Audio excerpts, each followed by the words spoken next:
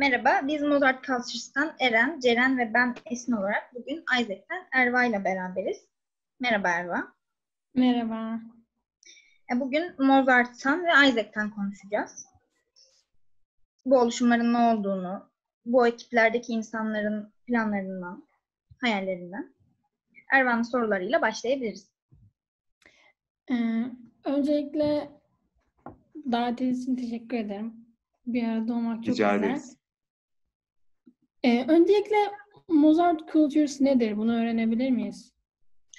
Ee, biz Mozart'ta bir grup öğrenciyiz. Bu işi gönüllülük esasıyla yapıyoruz.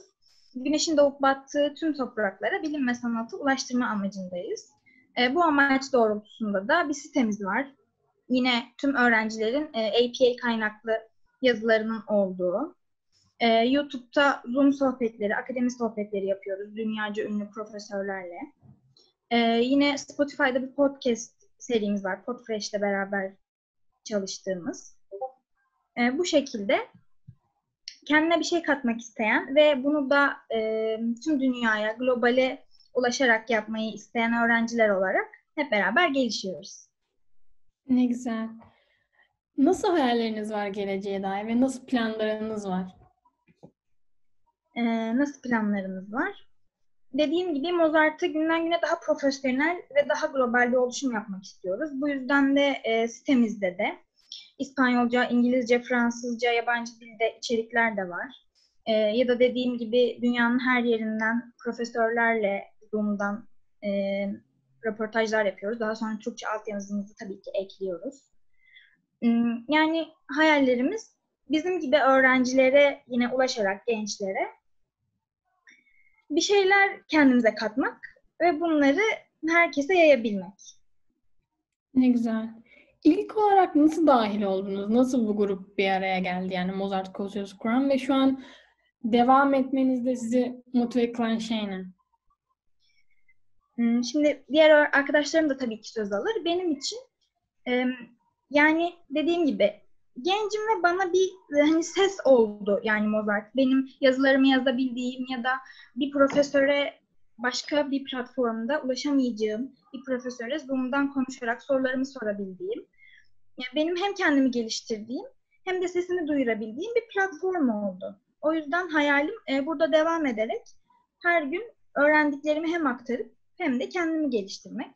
Eren'le Ceren'in de e, başka hayalleri varsa onları da dinleyelim. Ceren sen başla istersen.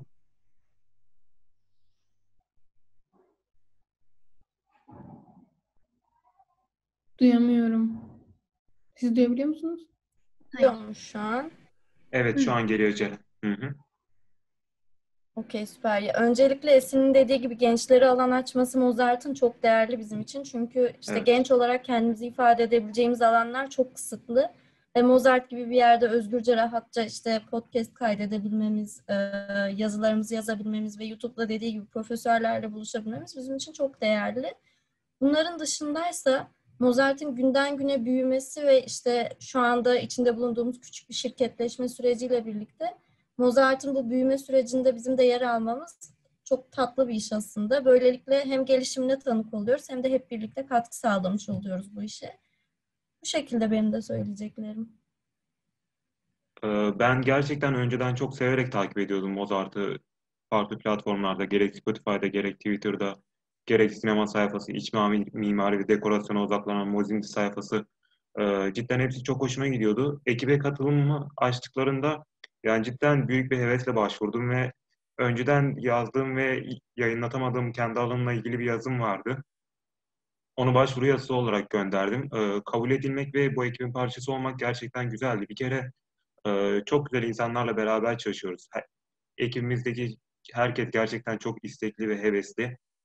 Ee, bu kadar hevesli öğrenci topluluğuyla çalışmak çok güzel. Bir kere arkadaşlık ortamı var. Esin'le neredeyse her gün sohbet ediyoruz. Ee, yani gerek işlerimizle alakalı, gerek onun dışında farklı alanlarla alakalı. Yani bir kere bu arkadaşlık ortamı gerçekten çok hoş. Onun dışında Ceren ve Esin'in de söylediği gibi ben kendi yazdıklarımı ya da düşüncelerimi paylaşabileceğim gerçekten güzel bir platform Mozart. Ve Esin belirtti galiba bunu ama Jason Stanley'e mesela asla bir soru soramazdım ben normalde ama Mozart sayesinde Zoom'da bu soruları iletmemizi sağladı. Ee, gerçekten kendimizi ifade edebilmemiz ve geliştirebilmemiz için çok güzel bir ortam sağlıyor Mozart. O yüzden sanırım uzun süre boyunca bu ekiple beraber güzel işlere imza atacağımızı düşünüyorum ben. Ne kadar güzel. Ben de öyle inanıyorum.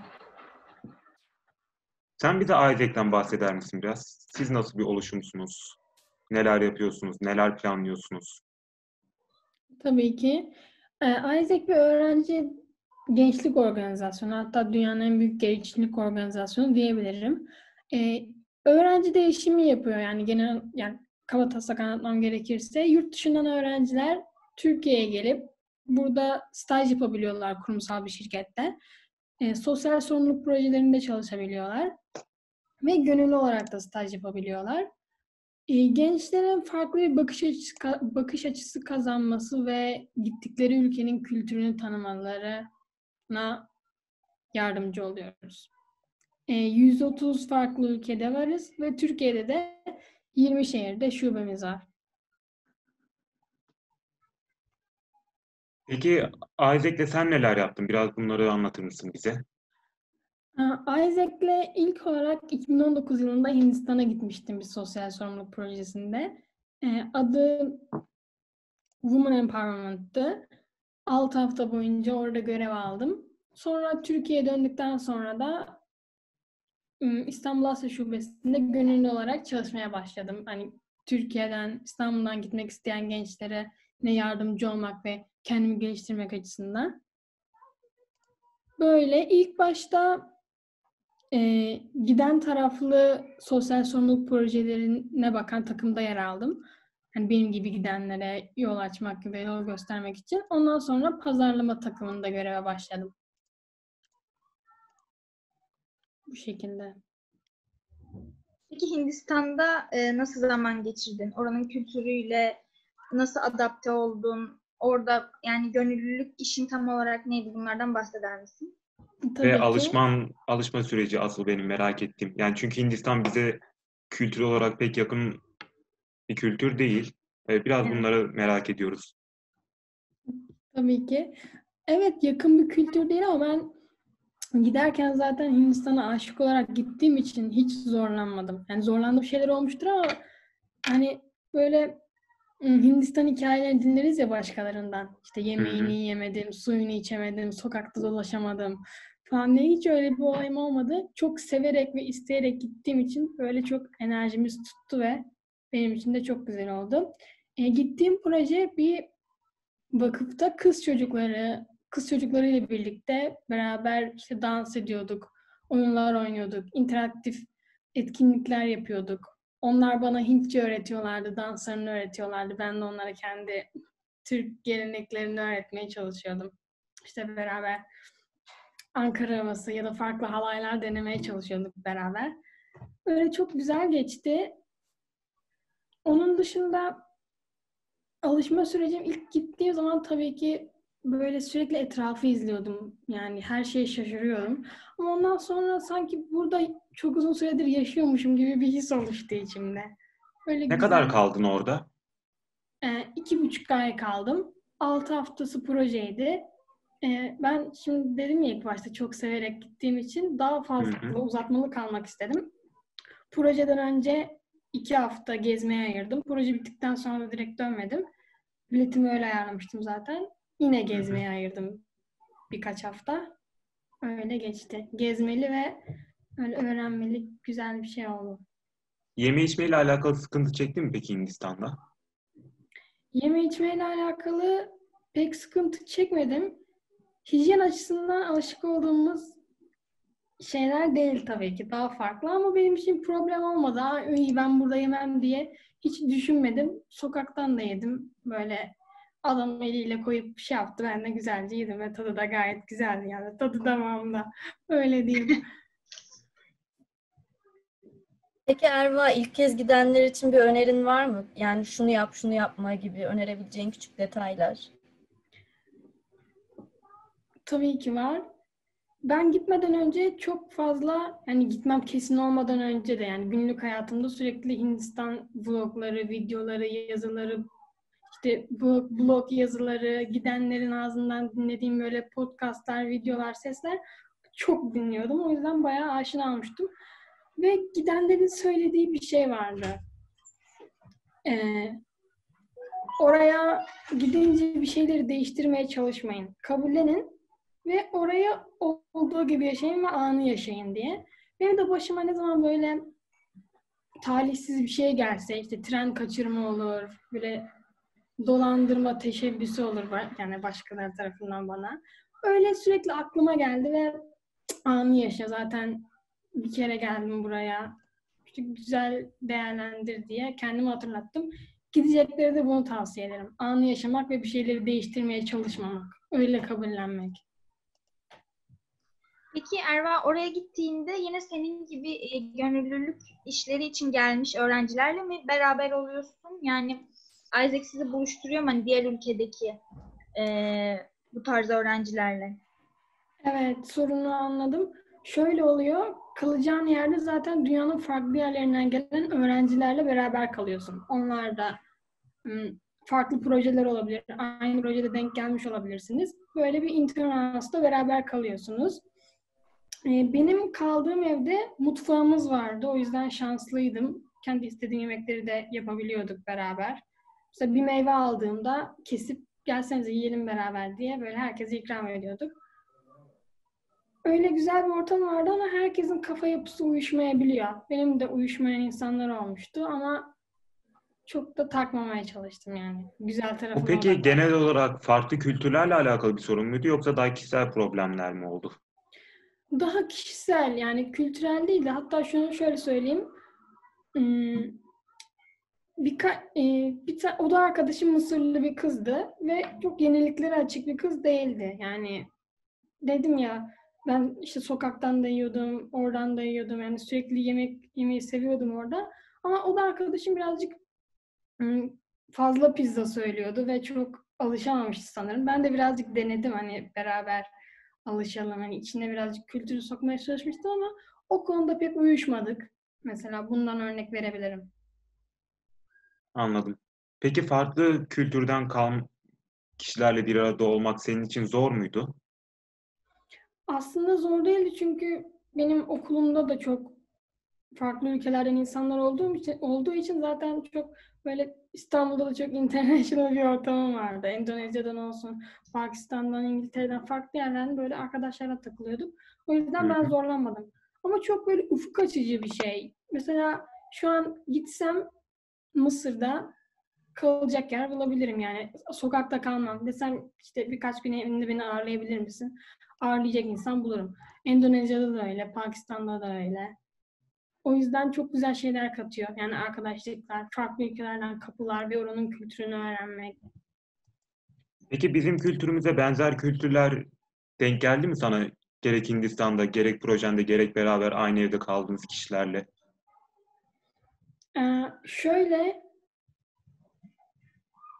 e, aynı kültür derken yani mesela Müslüman olmakla ortak bir yemek kültürümüz oldu Mısırlı arkadaşlarla. Hı hı. Bunu iyi güzel idare ettik. Ondan kaynaklı şeyler alıyor ve Hindistan'da da Sihizm diye bir din var. O, onun e, o dine mensup insanlarla da çok güzel anlaştım ve çok güzel arkadaşlıklar edindim onlarla da.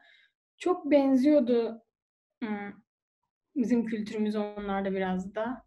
Çok iyi anlaştık onlarla. ayrımını aşarak yani bir dünya vatandaşı olabilmenin senin için en güzel yanı neydi peki? Yani deneyimlediğim en iyi şey buydu diyebileceğin bir şey var mı? Hindistan'a mahsus mu genel olarak mı? Genel anlamda aslında çünkü anladığım kadarıyla international bir ortamın var ve e, bu seni dünya vatandaşı yapar yani zamanla sonuçta e, birçok ön yargımızı aşıyoruz. Senin bu konuda deneyimlediğin en iyi e, durum veya olay neydi senin açından? Şöyle söyleyebilirim bana şunu öğretti. Farklı düşünmemiz bizi düşman ya da birbirine kötü anlaşan insanlar yapmaz. Ya da birinin düşüncesini değiştirmeye çalışmak, onu bir düşünceye zorlamak. Yani bunun gereği yok. Bunu anladım. Yani farklı görüşlerden olsak da bazı arkadaşlarımla çok güzel anlaşabiliyoruz. ve birbirimizi değiştirmeye çalışmıyoruz. Bunu öğretti. Peki Erva, e, Isaac'in sunduğu projelerden biraz bize bahseder misin? Yani gönüllülük yaparak nasıl projelerde çalışılabiliyor? Tabii ki. E, sosyal sorumluluk projelerinde e, çocuklarla ilgili projeler var. Çok keyifli şey videoların izledim gidenlerinde. Ben de katıldım kendim. Onlar çok güzel oluyor ve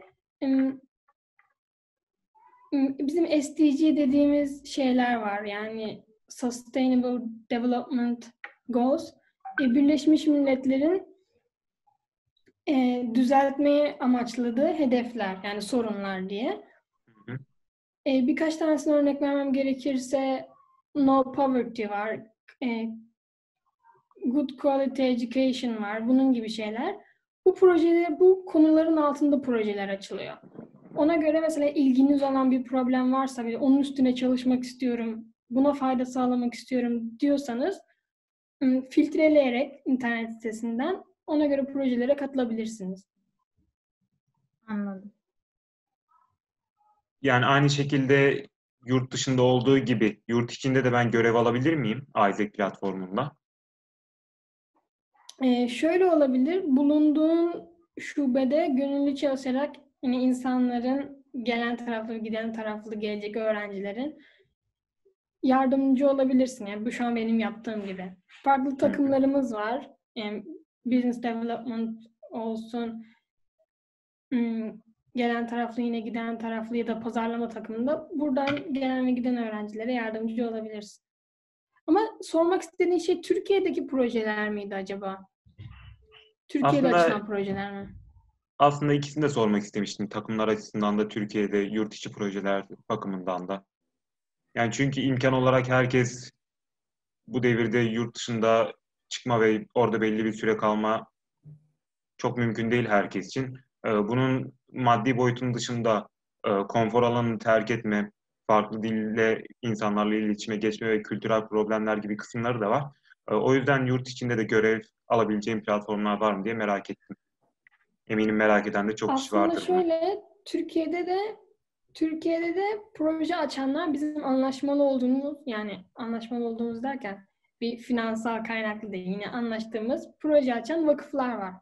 Hı E, hı. Bu vakıflarla iletişim kurup belki gidebilirsin ama yurt içinde böyle Isaac, dolu, Isaac aracılığıyla gidebileceğim projeler yok. Yani yurt dışına gönderiyoruz. Anladım. Ama şöyle söyleyeyim. eee, bunu editte de kesebilirsiniz. Yani bu yanlış olabilir. Bundan çok emin değilim. Çünkü Türkiye'de de böyle bazı projeler oluyor. Mesela en büyük e, en büyük ders adı altında bir şey olmuştu. Türkiye'deki küçük çocuklara yapılan böyle bir proje olmuştu. Ona katılanlar olmuştu. Ama genel olarak Aize'nin amacı yurt dışına öğrenci gönderip oranın kültürünü tanımak. Bu yüzden hani Türkiye'de projeler yok dedim.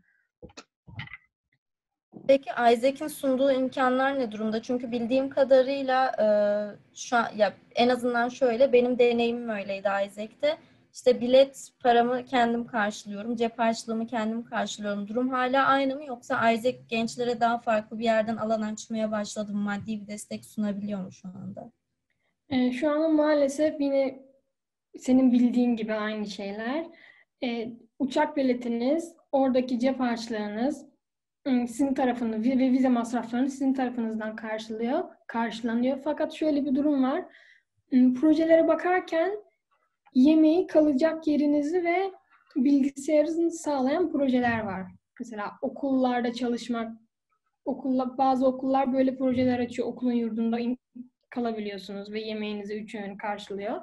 Böyle projeleri filtreleyerek yine bulabilirsiniz. Finansal olarak daha ım, karlı çıkabilirsiniz. Böyle çok güzel olur. Yoksa diğer türlü kendi kendi cebinizden karşılamak durumunda kalıyorsunuz. Ama uçak bileti ve vize masrafları her türlü yani sizin tarafınızdan ödeniyor. Peki pandemi döneminde e, Isaac'in bu projeleri tabii ki yurt dışıyla bize olayları vesaire sekteye uğradı mı? Nasıl Evet, oldu? Orada olan, orada yakalanan öğrenciler oldu. Evet orada yakalanan öğrenciler oldu. Onlara da kendi ülkelerine dönmek için tabii ki de projelerini bırakıp dönmek isteyenler oldu. Onlara da tabii ki ım, yardımcı olduk dönmelerine karşı. Ve bizim de tabii ki gönder gönderecek öğrencilerimizin de projeleri iptal oldu. Bir sonraki seneye 2021'e. Şu anda genel olarak 2021 projelerini öğrenci alıyoruz. Yani bu sene çok olmayacak gibi. Anladım. Ee, örneğin ben İngiltere'de seçtiğim bir projeye katılmak istiyorum. Ben herhangi bir seçme ya da değerlendirmeye tabi tutuluyor muyum? Evet, hatta özellikle Avrupa ülke, Avrupa ülkelerinde rekabet daha fazla olduğu için kabul almama durumunuz biraz daha fazla oluyor. Çünkü çok tercih edilen ülkeler olduğu için. E, öncelikle e, başvuruyorsunuz. Başvurduktan sonra sizi ya bir e, görüntülü konuşma mülakatına ya da sizden bir video istiyorlar bazı soruları cevaplandırdığınız. Mesela Hı ben hı. giderken bir video çekmiştim. E, videoda sorular şunlardı. Bu projeye neden katılmak istiyorum? Katılırsam ne gibi faydalarım olur? Bunun gibi şeyler. E, bu şekilde oluyor genelde. Sonra mülakat sonucunuz geliyor. Sonra direkt işlemlere başlıyorlar. Vize ve uçak bileti. Bu şekilde sonra gidiyorsunuz. Anladım. Ee, şimdi biz, benim aklıma şöyle bir şey geldi. Tabii Mozart olarak dediğin gibi globale ulaşma hedefinde olduğumuz için yabancı takipçilerimiz de var. Yani özellikle e, yabancı profesörlerle yaptığımız videolara, videoları izleyip onlara gelen. e, belki günün birinde Isaac'le böyle bir ortak işbirliğimiz olabilir. Yani mesela oradaki takipçilerimizle bizi buluşturan. Çok güzel olur. Evet, Evet, daha fazla kişinin deneyimlerini ileride Isaac'le herhangi bir projeye katılmayı düşünen öğrencilere aktarmak gerçekten güzel bir işbirliği olur. Evet. Çok iyi fikir. Bunun üzerine hatta daha detaylı konuşabiliriz bence. Evet, kesinlikle. Senin bize Mozart hakkında başka sormak istediğin bir soru var mı? E, var. Ben şunu merak ediyorum. İlk nasıl kuruldunuz? Ve nasıl bir amaçla kuruldunuz? Kim kurdu? Bunun detaylarını öğrenmek isterim. Çünkü gerçekten merak ettim. Ee, ben başlayayım bildiğim kadarıyla. Arkadaşlarım da tamamlar. Mozart 2017 yılında kuruldu. Ee, aslında yani kültür sanat platformları tabii ki çok var. Ee, dijital ortamda olsun, basılı olsun. Ama bizim amacımız her zaman daha profesyonel olmak. Ee, o yüzden de kaynakçalara çok önem veriyoruz. Ee, telife çok önem veriyoruz. Yazılarımızda olsun, tüm platformlarda. Ve e, olabildiğince organik tutalım takipçi kitlemizi. Yani o yüzden reklam gibi ya da işte e, anladın sen yani bu tarz şeylere dikkat ediyoruz. Takipçi kitlemizi sıkmadan kaliteli içeriğe ulaşmalarını sağlamak istiyoruz. Dediğim gibi zaten gönüllü bir öğrenci topluluğuyuz. Hmm, Bu şekilde bir fikirle kurulup 2017'den bu yana tabii ki ekibin e, girenler çıkanlar olsa da öğrencilerden, gençlerden oluştuğu gönüllülük esasına dayalı bir platform. E, her gün başka bir tabii fikir oluyor. Mesela YouTube'da bu Zoom sohbetlerine pandemide başladık aslında. E, insanların tabii Zoom'u zaten daha yaygın kullanmasıyla bizim de aklımıza bu fikir geldi. Ve çok iyi dönütler alıyoruz. E, YouTube'da animasyonlarımız da var onun dışında. Ve çocuklar için masallar var podcastlerde. Böyle her gün farklı alanlarda farklı şeyler yapıp hem kendimiz gelişmeye hem takipçilerimize farklı deneyimler yaşatmaya çalışıyoruz. Anladım. E, internet sitenize içerik girerken nelere dikkat ediyorsunuz? Neleri baz alarak içerik giriyorsunuz ve sadece ekibinizden mi içerikler geliyor? Yani üyelerinizden ve takipçilerinizden de içerik alıyor musunuz? Ee, Bunu ben cevaplandırayım. Ee, Siteye, site için belli bir yazar kitlemiz var aslında. Ee, Bu yazar kitlesinden beklediğimiz tek şey e, düzenli bir aralıkla bize yazı göndermesi ve yazının bilimsel bir kaynakça stiline sahip olması. Ee, İnternette hepimizin bildiği üzere çok ciddi bir bilgi yoğunluğu var. Ama bu bilgiyi ayırt etmek gerçekten çok zor. Yani çöp kısımla gerçekten bize işe yarayacak kısmı ayırt etmek çok zor. Ee, bizim sitede en önem verdiğimiz şey belki de bu. Ee, kesinlikle bilimsel kaynakçası, kaynakça stiline sahip olmayan yazılara yayınlamıyoruz. Ee, bunun dışında e, dediğim gibi genellikle yazar ekibimiz bize yazı sağlıyor. Ama bizim bir Discord üzerinde de bir topluluğumuz var. Ee, yakın bir zamanda Discord üzerindeki topluluktaki üyelerimize de site için yazı yazma imkanı tanıdık. Tabii ki onlar için de aynı kriterler geçerli. Onlardan belli bir yani düzenli olarak yazı yollamalarını beklemiyoruz ama e, yazı yollarken doğru bilgi olduğundan emin olmamız için bilimsel kaynakçaya sahip yazılar olmasına dikkat ediyoruz. E, ekibe katılımlarımız da her zaman açık diyebilirim aslında. E, farklı alanlarda sürekli yardıma ihtiyacımız oluyor. Esin'in bahsettiği gibi üyelerde de belli bir sirkülasyon var. O dönem yoğun olan oluyor, aramıza kat, aktif olarak katılabilen oluyor, katılamayacak oluyor. Daha farklı projelere yardım etmek isteyenler giriyor ya da çıkıyor. Örneğin Erasmus'a gitmek zorunda kalan oluyor. O aktif bir yazı yazamayacağını söylüyor. O biraz ara vermiş oluyor. O yüzden sürekli farklı alanlarda yardıma ihtiyacımız oluyor. Mesela siteyle alakalı belli bir sıkıntı yaşadık kısa süre önce. O anda mesela teknik destek sağlayabilecek kişileri ekibimize tekrardan dahil ettik. Onun dışında sosyal medya ile alakalı her zaman desteğim ihtiyacımız oluyor. Onunla ilgili tekrar aramıza katılanlar oluyor.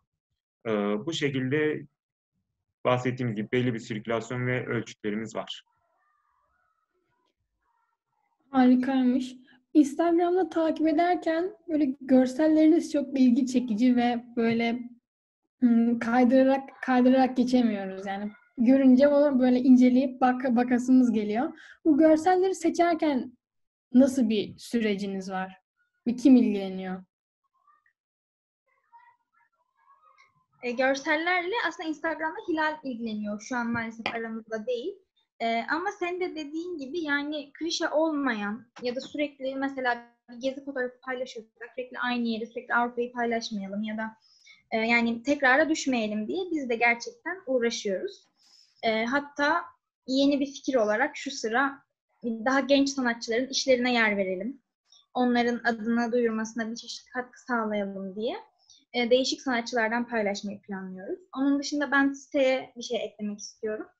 E, bu yine yeni konuşulmuş bir şey. Yani çeviri içerikler sistemimizde zaten var. Çeviri ekibimiz oldukça iyi zaten. Ama e, şeyi fark ettik yani hepimiz öğrenciyiz dediğim gibi ve bölümlerimizle, alanlarımızla alakalı bazen çevrilmiş içeriğe uğraşmamız zor oluyor. O yüzden yine öğrencilere katkı sağlaması için kendimiz araştırırken çevrilmişini, Türkçesini bulamadığımız ders materyallerini çevirmeyi planlıyoruz. Bunu da buradan duyurmuş olalım. Belki yani kontrol edin. Belki sizin dersinize, ödevinize fayda sağlayacak bir içerik sitemizde olabilir. Evet, ayrıca sosyal medya ekibimiz de diğer ekiplerin %90'dan fazlasının olduğu gibi öğrenciler tarafından yönetiliyor tüm hesaplar. Ee, Esin bahsettiği gibi Hilal şu an Instagram hesabımızla ilgileniyor. Zaten ben Hilal'in estetik zevkine güveniyorum. Onun paylaştığı içerikler de ilgi çektiğinden eminim yani. Ee, bize danıştığı da tabii ki oluyor. Grubumuza danıştığı oluyor. Bizim ona danıştığımız da çok fazla oluyor. Ama dediğim gibi genel olarak öğrencilerin yürüttüğü bir platform o da. Sitemiz ve diğer platformların olduğu gibi. Ee, peki takipçilerinizin sizden bir beklentisi var mı? Yani beklentisi nasıl ve onlarla iletişime geçiyor musunuz yani arada? Tabii geçiyoruz. Ee, Eren'in bahsettiği geçen soruda Discord e, serverında zaten takipçilerle orada 500'e yakın takipçimizle iletişim halindeyiz. Ne Fikir kadar alıyoruz. güzel. Evet, bekliyoruz yani linki zaten e, Twitter'da ana hesapta mevcut. Yine paylaşırız. Oradan bir iletişim halindeyiz. Oradan ekibe bir ım, katılmak isteyen olduğunda gerekli şeyleri yapıp yani mülakatları demeyeyim ama yani gerekli kontrolleri yapıp oradan ekibe destek alabiliyoruz. Ya da gelen mentionları, YouTube'a gelen yorumları her zaman değerlendiriyoruz. Gelen DM'lere bakıyoruz. Onlarla sürekli bir şey halindeyiz yani, iletişim halindeyiz. Yani emin olun Çok ki iyi. Twitter e, direkt mesaja yolladığınız ya da YouTube'da yorum attığınız şeyin bizim ana hesabımıza yani ana iletişim hesabımıza düşmediği yok yani. Hepsi kesinlikle hepimize geliyor mutlaka. Ekran görüntüleri atılıyor, mesajları hepsini görüyoruz ve ona göre çeşitli ekipler plan program çiziyor, düzenliyor, ona göre harekete geçiyor. Eğer olumsuz bir durum varsa bunun sebebini araştırıyoruz, ona göre tekrar planlamalar yapıyoruz. Ee, onun dışında Twitter'da mesaj kutumuz da herkese açık. İsteyen herhangi bir konuda bize soru sorabilir ya da der ki şunu şöyle yapsanız çok daha iyi olur. Biz sizden şunu bekliyoruz aslında. Siz buna ağırlık verdiniz ama çok da doğru yapmıyorsunuz sanki. Bence şöyle bir şey de yapabilirsiniz tarzında her zaman eleştiriye de açığız. Ee, ve eğer siz de yani bu topluluğun bir parçası olup bizle daha iyi iletişim içinde olmak isteyen varsa Discord grubumuzda hepimiz aktifiz. Ee, yani bu topluluğu 2017'de başlatan kişiler de orada. Atıyorum 6 Eylül günü katılan kişi de o toplulukta var. Ee, ekiple dediğim gibi diyaloğunu arttırmak isteyen varsa oradan da bize her zaman ulaşabilir. Hepimiz oradayız zaten. Sohbet ediyoruz, tartışıyoruz, kitap öneriyoruz, film izliyoruz. Sesli kanaldan sohbet ediyoruz akşamları. Satranç turnuvası yapıyoruz, Gartiyo oynuyoruz. Yani sürekli oradayız yani zaten. Açığız Ne kadar güzel. Kendini geliştirmek isteyen entelektüel insanların böyle bir arada bulunabileceği ve birbirine bir şeyler kattığı bir ortam yaratmışsınız. Çok güzel bu. Evet, biz de öyle olduğunu inanıyoruz. Özellikle Discord grubumuz bunun için çok uygun. Ee, toplulukta belli bir kanallar var ve bu kanallar gerçekten herkes için bir veli nimet bence. Her gün birden fazla kitap önerisi düşüyor, podcast önerisi düşüyor. Ee, videolar ya da müzik kanalları hepsi için yani güzel bir arşiv de oluşuyor aslında orada. Gerçekten kişi kendini geliştirmek istiyorsa bence güzel bir imkan sağlıyoruz kendimiz için de aynı şekilde çok güzel oluyor. Çünkü biz de sonuçta kendimizi geliştirmeye çalışan öğrencileriz burada. Bizim de her konuda desteğe, öneriye, fikre ihtiyacımız oluyor. Gerçekten bizim için de çok güzel bir imkan oldu. Böyle yani dünyanın dijitalleşmesini ve kendine fayda sağlayacak şeyleri insanların bulması ve ekibe katılması çok güzel olur. Evet, evet kesinlikle. Bizim sana sorularımız bu kadar. Senin Mozart hakkında merak ettiğin şeyler varsa cevaplandırabiliriz. Yoksa vedalaşabiliriz. Benim de bu kadar. Sizi tanıdığım için mutlu oldum. Biz de memnun Biz de çok sevindik. Çok keyifli bir sohbetti.